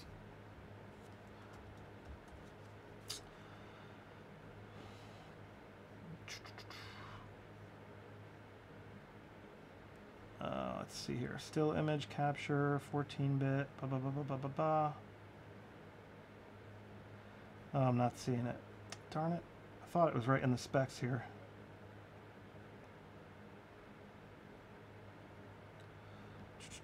All right, overview. Maybe it's in here. I remember when I reviewed this and looking into it. Um, oh, here we go. Dude, the buffer 828 consecutive uncompressed RAW files on the A7 IV. So the A7 IV just blows it out of the water. It's not even comparable in any way. This has almost an unlimited buffer. Like 828 consecutive shots is crazy. And that's what the A7 IV offers. So far superior, uh, not even comparable. That's why we need the 7000 series crop factor camera. We need like a flagship APS-C and it will have that buffer like the A7 IV has and hopefully a stack sensor. That's what I'm hoping for. Um, all right.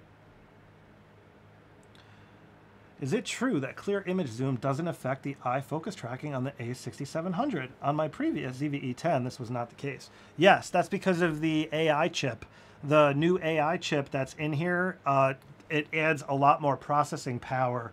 Um, so what was happening is when you're using when you're using uh, clear image zoom, it's like a digital zoom, but it's really powerful. So it takes like a lot of processing power because it almost you can't even really tell that it's clear image zoom. Like it's not degraded like at all. You can go almost to like 1.5, almost to 2x before you can notice a difference.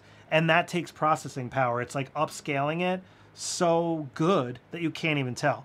So, uh, like I said, processing power. That's why it wouldn't have the, the uh, really impressive IAF autofocus when in clear image zoom mode because it didn't have that processing bandwidth. So now with the AI chip, it does. So in clear image zoom, you maintain uh, IAF and the tracking abilities and stuff like that, which is awesome. That is another significant upgrade on the A6700 compared to the A6600 that I forgot to mention in the beginning of this video. So thanks for bringing that up.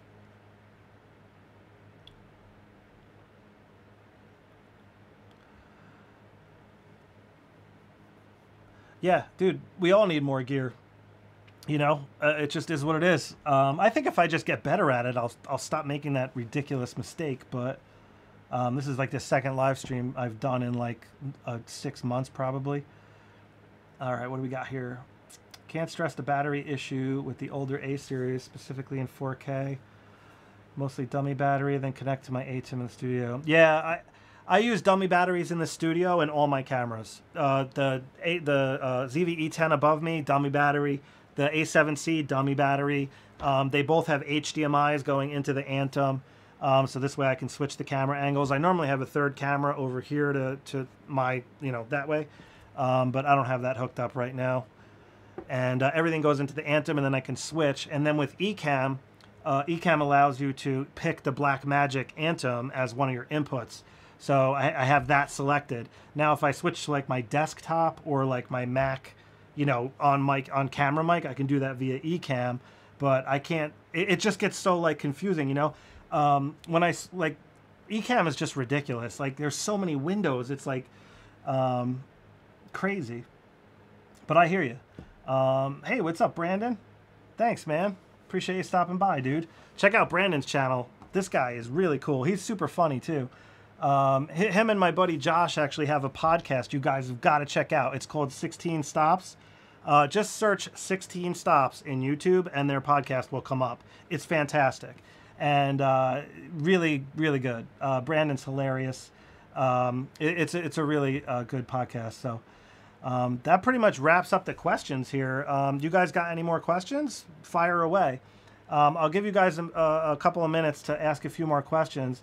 In the meantime, though, I just wanted to switch to my uh, laptop screen here. I don't know. Let's see. Uh, just give me a second here. Current application. That should do it. If I switch to that, I should switch to Ecamm or uh, it should switch to Lightroom there for you. All right, let's see. I I took a bunch of shots. All right, it should switch to Lightroom. Just give it a second. Um, I just took a couple of snapshots. Let's see. This is kind of cool, like a lotus plant. This was with that 70 to 200 lens. Look at how sharp this is, guys. This is unbelievable sharpness um, with that new 70 to 200 macro. Um, I should talk about that more. I'm supposed to be talking about that lens in this video also. Look at this beast. Let me cover my face. Oh, I have my laptop screen up, so oh, I could you'd still see on the little screen. Um, but yeah, this lens is so sick. Uh, absolutely awesome optic. Uh, really loving it so far. It's a little bit slower with the f4 aperture, but I don't really mind because this macro ability is so ridiculous and so welcomed. The minimum focus distance is what allows you to get so close to subjects like this. And this flower was small. It was only like the size of a quarter. And, you know, you can get so close with uh, a lens like this. I got like a B, you know, it's not the greatest shot, but it's okay. Oh, there was like a duck. Look at this duck. And you can just see how sharp that is. Like it's razor blade sharp, this new 70 to 200. And this was on the uh, 6700. Um, I took these pictures. Just another flower. It's another one. Oh, I went to a food truck and got this incredible um, chicken Philly cheesesteak. It was unbelievable. Uh, let me see here. I took a bunch of shots yesterday. Oh, this was with the 70 to 350 millimeter G lens. Um, so I zoomed in and took a couple of shots of this little hummingbird thing. A few snapshots. I didn't go through these yet. I just imported them. Uh, let me go to the end though, because I took a bunch of shots. Oh, they're from today. Never mind. Here we go. These are from today. I took a couple of shots today. This was using the 16 to 55 millimeter, and you could just see, I mean, straight off the camera, this is a JPEG because Lightroom isn't accepting the RAW files yet, but um, the image quality is looking really good for sure. I mean, you can see here on this sign, it's just remarkable. Here's a good shot. Just shows a little bit of the background blur, uh, focusing on these flowers and stuff like that. Just a couple monuments. These are just like snapshots. I was just walking down the road, taking a few pictures, trying to sh show you that background separation you can get with a lens like this at f2.8. Um, so this was 55 millimeter f2.8 and you know pretty good separation there unbelievable sharpness this lens is really good quality um, it does have a lot of distortion at 16 millimeter though, but you won't see that if you're shooting in JPEG because the camera fixes it. Look at this bike I saw. It had a motor on it. I saw this today on the sidewalk. I couldn't believe it. Really cool, right? It's got a little gas tank. It's got like a whole system here. So I thought that was cool. Uh, then I came across this old Impala. Look at this beast. Impala SS. I don't know. This is like a 1960s something or, or whatever. Uh, here's the front of it. Sweet looking car. Just a couple snapshots. I just focused on this doorknob to get maximum uh, butter. So I was going for maximum butter here. And uh, this lens produces some really good, uh, really good out of focus, no doubt. Just a bunch of stuff here. This was uh, like a spillway. I was just zooming in on, taking a couple of shots. This is a pretty cool, oh, I was taking an HDR here. That's what this is. Breakwell Steel. This guy is like a genius metal builder or whatever you call it, a metal sculptor artist. And look at what he does with metal.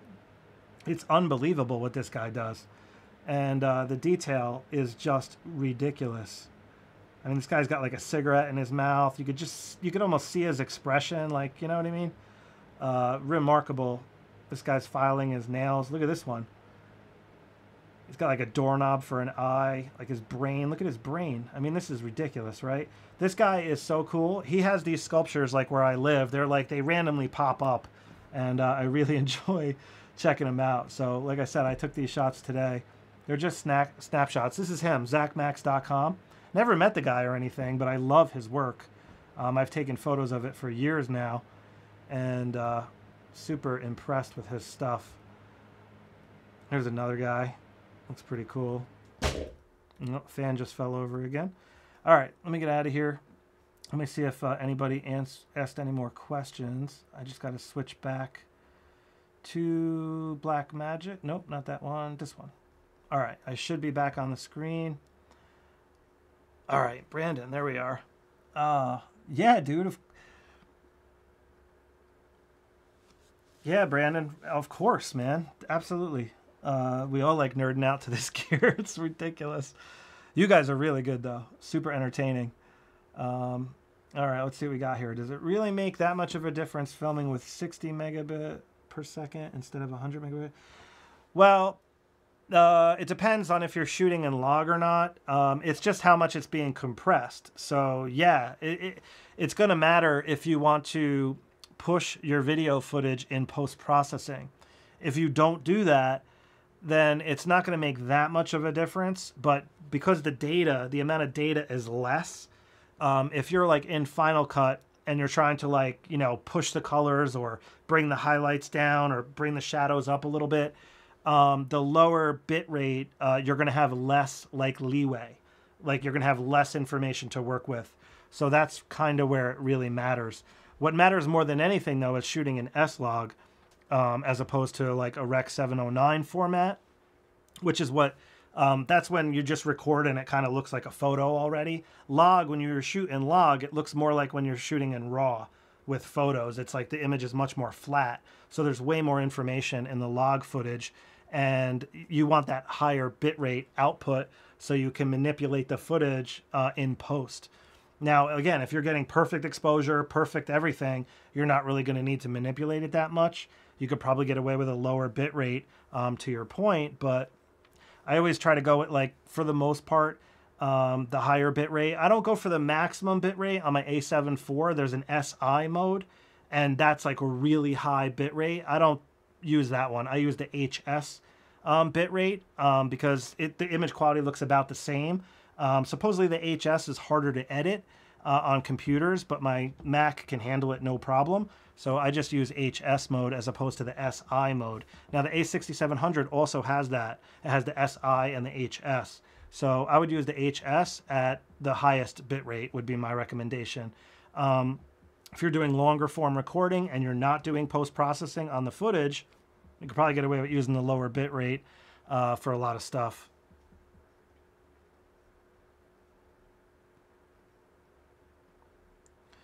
I noticed at 100 megabits, when I punch in and edit, it looks much better, less than uh, grainy and messy. Yeah, there you go.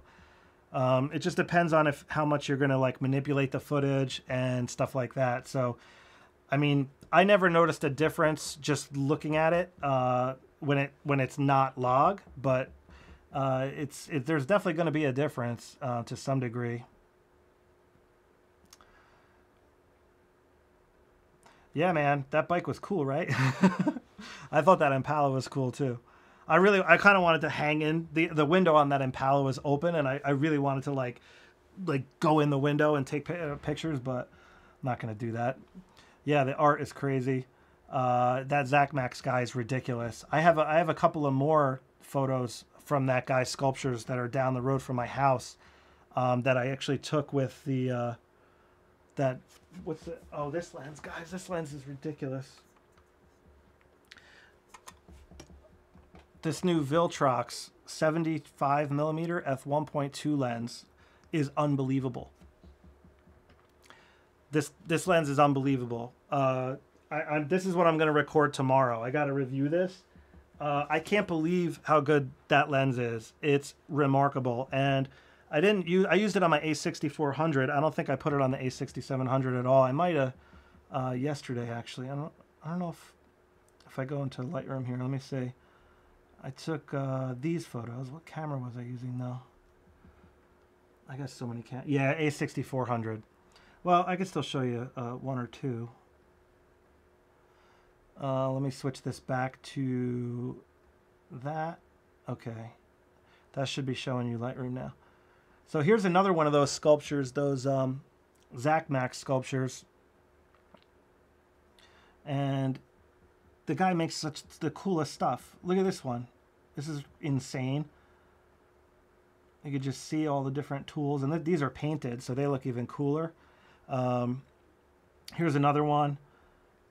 And again, just the texture detail. You could see these faces like look kind of sort of like that other, um, you know, structure, that other one we were just showing you. They were all rusty. These are painted, but you can see the similarities. Like it's obviously the same guy. Look at this background butter. Look at the butter on this from this lens. unbelievable. This Viltrox lens, guys. Um, but anyways, I'm not supposed to be talking about that. I'm supposed to be talking about the uh, 70 to 200. So I have a couple uh, other shots I took with that thing. Let me see. Um, yeah, I really didn't take that many shots with it. I just got a bunch of silly flowers and stuff. That that's about it. I got I got to do a lot more. I'm going to um, I'm going to record on the uh, A7 IV. I'm going to test the 70 to 200 like the rest of the way. So probably next week I'll use this setup and then I'll come out with a video on this lens. You know, a week or two from now. Uh, right now I'm just focusing on the A6700 and I really got to get that Viltrox uh, lens review done tomorrow. So that's pretty much the game plan. Um, but I'm going to have to get going here. Um, yeah, Brandon, that'd be awesome, dude. Uh, I'd love to go on. You know, you guys are doing a great job so far, though. You haven't quite got to the guest uh, uh, portion, I guess, of your journey with the podcast. But uh, that last one on red cameras was unbelievable. I, I, learned so much. It was it was really good. I'm looking forward to uh, the one you guys are doing. Uh, Josh told me you guys are supposed to be recording Sunday or something, so I'm really looking forward to that. Yeah, Viltrox also makes a 27 uh, millimeter. I have not used that lens. Um, I have a 23 millimeter f1.4 Viltrox that's really good, um, but it's not near as good as these newer Viltrox lenses. The uh, the Viltrox 13 millimeter f1.4 is phenomenal, uh, and this one here, this new one, uh, the 75, phenomenal. Um, the 27, I don't know about that one. I haven't used it. Uh, that'd be cool if that's on the same level as these newer Viltrox lenses because it's remarkable what they're putting out for the money. Um, they're really starting to, I don't know, they're like crushing it, to be honest. All right, what do we got here? Regarding the overheating issues, I noticed different experiences in general. My ZV-E10, for example, did have overheating issues sometimes in rather cool surroundings. That's interesting. Yeah, I've never had the A7 or the ZV-E10 overheat on me. Um, but like I said, my studio is about in between 70 and 76 maybe. It like varies. I usually have the air conditioner on, but it's so loud. I don't have it on right now. It's one of those old units that pops out of the house. Um, but uh, yeah, I mean, listen, if you're in hot conditions outside, I think any of these cameras that don't have fans uh, are going to overheat eventually. So it's just a matter of what you're doing. And the ZV-E10 is a small camera body, but just from my own experience, um, I have this thing on this overhead rig, and it, it's never overheated on me. And I've had it on for hours, you know. Um, so it just it just depends on what you're doing, what temperature. Um, I heard if you're recording with a memory card and an HDMI cable, it'll heat up faster. Like if you're also outputting HDMI, um, the camera will heat up faster. So, and of course, if you have the screen out, it'll allow the camera to cool off a little bit more. So those things may or may not help um, when it comes to that stuff. Uh, filming in 4K for four minutes? Dude, I, I can't believe it overheats. I've never had a problem like that. I could only, I could imagine if you're in 100 degree temperatures, it doing that maybe, but regular temperatures, that sounds crazy. Do you have your auto power off temperature set to high? Make sure you have your auto power off temperature set to high uh, in the camera. Uh, I have a feeling you must not have it set to high if that's the case. Um, high will allow the camera to get way more warm before the before it turns off. So highly recommend setting that um, too high. So that's pretty much it, guys. I'm going to wrap it up here. Uh, I got to get going. It's been almost two hours. I really appreciate you guys stopping by. Listen, we had some great questions. Um, I had a lot of fun. Uh, I'm starting to get a little bit more used to Ecamm. Obviously, I still suck at switching the camera angles when needed, but oh, 45 minutes. Okay, that sounds better. Yeah, 45 sounds about right. I could see that. Uh, 4K. Uh, it just depends, like what you know, what temperature um, and things like that. Um, but yeah, that makes sense. 45 minutes. Sorry, he just put that up here. I'll throw it up on the screen quick. 45, yeah. So anyways, um, like I said, I, I, really appreciate you guys checking out the video. And uh, you know the live stream. I'll leave this live stream up if you weren't able to catch it all. Um, I feel like I'm a lot of it is just me like babbling, but I'm I'm trying to answer questions as best I can. So it's a lot of fun. Uh, for those of you, I, I, appreciate it. It seems like some of you are getting uh, some help, which just makes me happy. So um, that's what it's all about for me. I really like helping people, and that's why I love doing this YouTube stuff. It's super rewarding, uh, reading the comments and and people like thank you. You know, like it's it's a good feeling helping people. You know and plus it's fun learning these new cameras and everything i always enjoy the process of learning a new camera and trying to figure out what a lens can do what it's capable of you know things like that so again i appreciate it guys i'm uh, i gotta get going but uh, the viltrox lens review is coming out next the a6700 stuff will be following that uh, then i'm going to work on the 70 to 200 lens so you can expect that stuff in the near future and uh, thanks again for uh, tuning in. I'll catch up with you guys next time. Take care.